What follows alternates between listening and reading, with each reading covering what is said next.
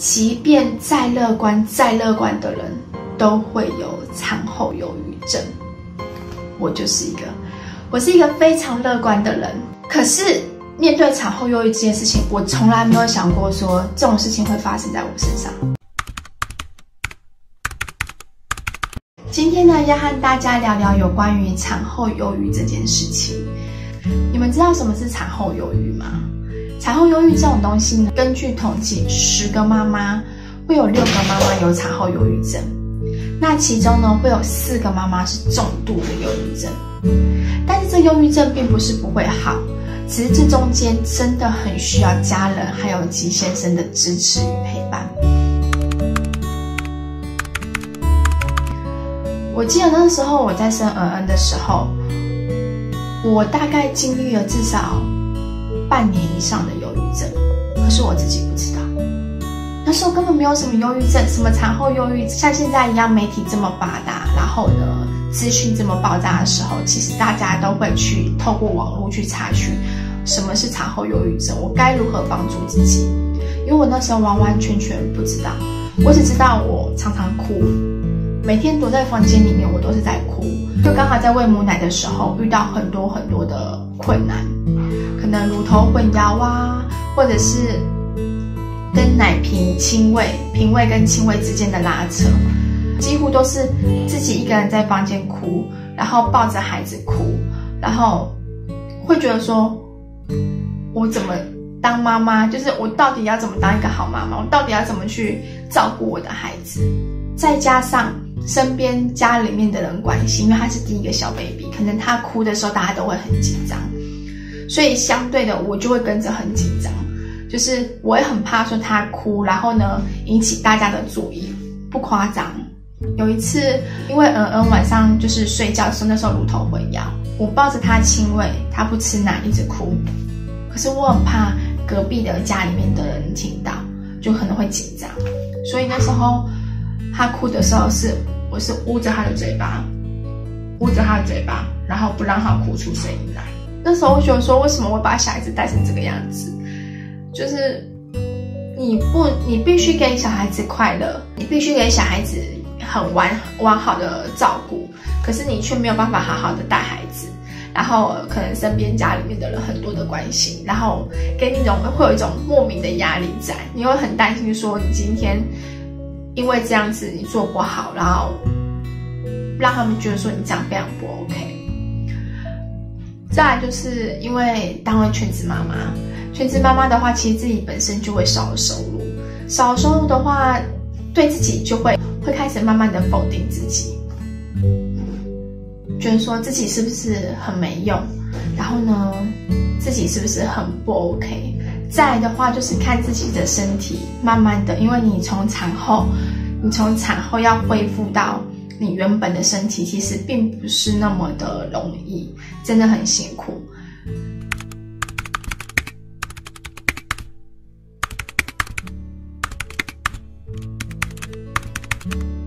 当妈妈睡眠不足的时候，累的时候，记得一定要伸手帮她一把。哎，你今天要不要好好睡一下？没关系，baby，我顾就好了。照顾小孩子这件事情不完全是妈妈的责任，所有的爸爸一定要记住这件事情。没有人天生会当妈妈，你老婆也是从小孩子出生之后，她才硬着头皮开始学怎么帮小 baby 洗澡，怎么帮他包尿布，怎么喂奶。所以你们两个其实应该是同步一起一起学习怎么包尿布，怎么喂奶，怎么照顾宝小 baby。那彼此之间互相的帮助，当他累的时候，你就帮帮忙他一下。我知道你们上班也会觉得累，但是要记住一件事情：我们在这个这段时间，不是互相计计较说，哎，我比较累，哎，我上班也很累，你在家里还好吧？不是去计较这种东西，而是互相，互相真的非常重要，甚至有可能。当在跟长辈沟通的时候，爸爸，我们也希望说，今天可以站出去，站一个脚步来替妈妈去沟通很多事情，然后呢，适时的带妈妈们出去走走。很多产后发生产后忧郁症会发生的时候是在什么时候？坐月子的时候，坐月子的时候呢，因为华人习惯会被限定三十天至四十天不能出门，不能洗头，不能不能洗澡，太多太多的习俗规定。但其实我觉得，只要妈妈可以照顾好自己，偶尔出去走走，其实那是一种心情的释放。我坐月子的时候呢，可能坐了第十天还是第十二天，我。会出去洗个头，给人家洗个头，然后呢，暂时的让自己舒服一下，暂时让自己喘口气一下，并不一定都会吃月子餐，可能今天吃了月子餐，吃了十天，吃了十五天，大第十六天的时候，我妈妈，我妈妈会说：“你要吃吃，你要吃牛肉汤排骨面吗？你要吃麦当劳吗？你要吃披萨吗？”我阿妈说。哎，当家你就家，并不一定说你今天只能只能吃什么，还是不能吃什么。我觉得那个规定真的很奇怪。我们可能需要调好好调养身体，月子是必须一定要做好事，没错。吃的东西上面其实并不一定太大的限制，只要妈妈快乐，心情好，母奶就会很多。母奶多呢，小孩子喂的就会好，小孩子喂的好呢，妈妈也就会顺，这是环环相扣的。妈妈心情非常非常重要。所以坐月子当中，我觉得我们应该要换一个方式，换一个想法。坐月子这件事情是要让妈妈们好好休息，好好的让自己身体去恢复到原本的样子。可是并不是限制妈妈，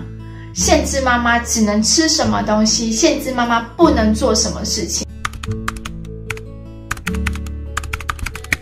最后是，当你觉得你自己的情绪又比较低落的时候，你要告诉你自己，没关系，想哭就哭，